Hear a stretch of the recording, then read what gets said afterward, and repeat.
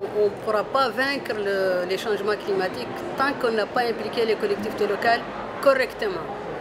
Pas en tant que prestataire de services, mais en tant qu'acteur déterminant dans les changements climatiques. Voilà.